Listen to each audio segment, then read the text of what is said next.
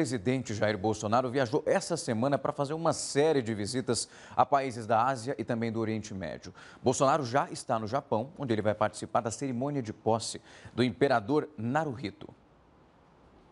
O presidente falou com a imprensa já na chegada ao hotel em Tóquio e comentou brevemente as tensões internas no PSL. A política, como diz o Luiz Guimarães, é uma nuvem. As providências vão sendo tomadas com o passar do tempo. O bem vencerá o mal, pode ter certeza disso. Jair Bolsonaro disse que não se trata de uma viagem de negócios, mas que vai tentar ganhar a confiança de investidores estrangeiros e defendeu, mais uma vez, a exploração de forma racional da Amazônia. É nossa Amazônia, não abro mão disso. Esse foi meu discurso na ONU, tem que ser explorado. Tem mais de 20 milhões de pessoas na Amazônia que não podem ser tratadas como alguns países do mundo querem. Durante a tarde, ele saiu para um passeio pelo movimentado bairro de Harajuku e chegou a tirar fotos com brasileiros e até japoneses. O retorno ao Japão após participar da reunião do G20 em Osaka no final de junho tem motivo nobre.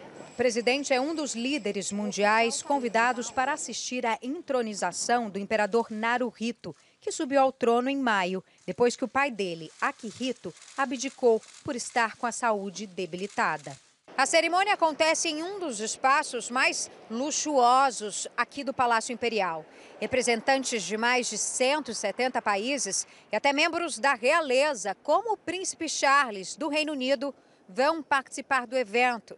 Já Bolsonaro será o único presidente em exercício do continente americano que vai estar presente na cerimônia. É uma honra ser convidado a participar desse evento, representando o Brasil.